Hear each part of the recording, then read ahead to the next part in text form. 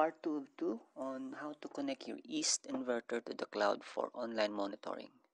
So this is the second part where you're going to connect or register your inverter's AP to the cloud so that uh, you will be able to see your harvest and its graphs. So uh, on the URL it's IDIMS uh, it's also in the manual so you can just check and then if you haven't registered yet there's a register account uh, below. But in this case since I've already uh, registered it and I have some few east uh, I'll just log in using my account. So we're going to use uh, add systems management on the on the right side so that we're going to add an another station for that so getting here as you can see I have an existing ones. Then we're going to add a new one 45 kilowatt. So it will just ask for uh, station name uh, edit groups. Oh no you don't need it but you just need a station name.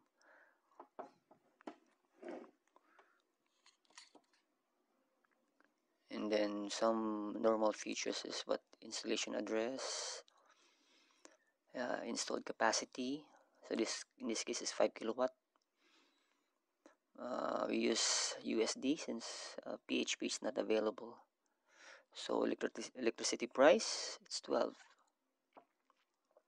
after which now that you have here you're going to add your device. So the device is the AP the serial number of your uh, Wi-Fi so in my case that's uh, my serial so all you have to do is to add. And then once you click it so save changes. So as you can see it detected that you know, it's coming from an inverter.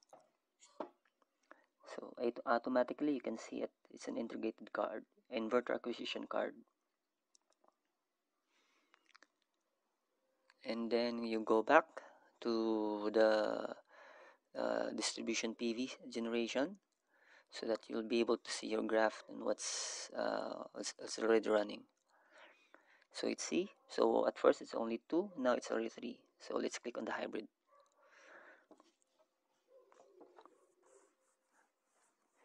And as you can see no data yet because it's uh, we just registered it so let's try to navigate on some of the features that this web has so that you'll be able to you know familiarize yourself. So it has a device real-time monitoring.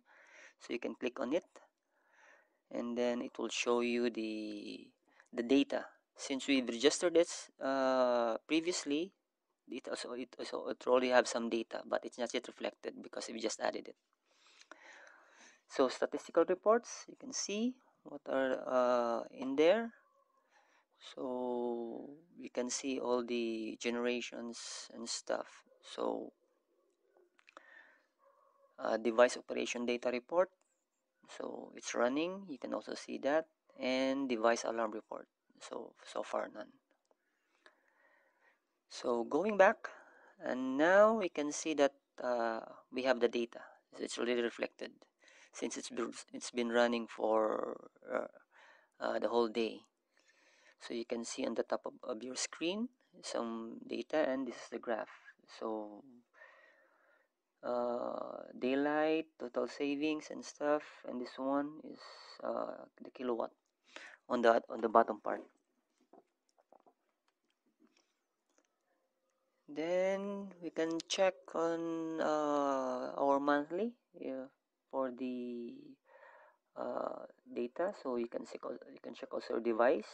So if there's any issues so what time? Annual generating report since it's not yet uh, uh, this, this is new one so I don't have any yearly report yet. You can also download uh, by just pressing export. Total power generation report you can also see here. And you can also do export if you want to so you can do that in excel. Device operation data report uh, this one is uh, all of the per five minutes data. You can you can see also the curve.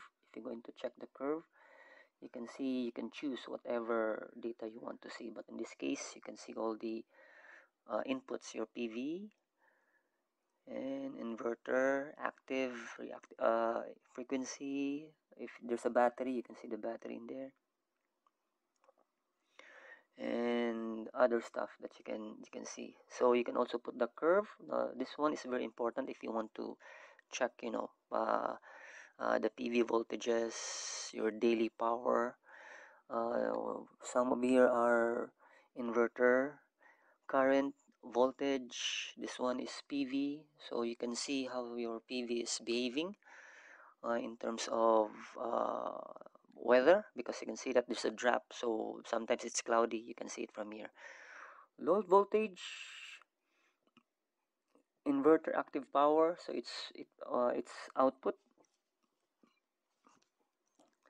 And battery state if you have one in this case I did not uh, connect my battery state but this is also important the grid because if you have issues with the grid this one will have an, an error. So you have to make sure that your grid is stable because uh, if it's not this will turn into error or it will it will have a fault error.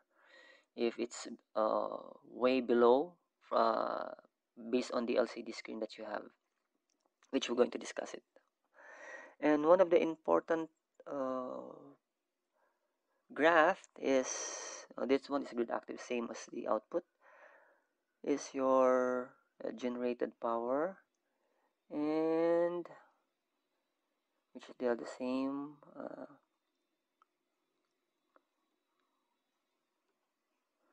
and meter city doesn't have any any value for it.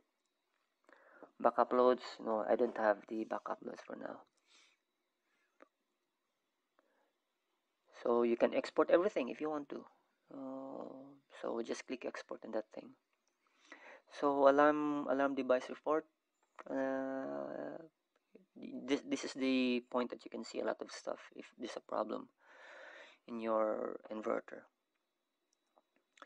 So as you can see it's been running. And also there's one functionality in here that is very good where you can add if you're an installer you can add a user where you can share your graphs into users you know if if you're an installer and you want to have this system enabled then you can share it to your clients that you know these are my uh, install based clients and you can you can you can show them their graph also. But in this case uh, just show it to you that you can uh, save it share it all with them and I think uh, that's for uh, uh, for now. And uh, next I'm going to create on how to set up the inverter properly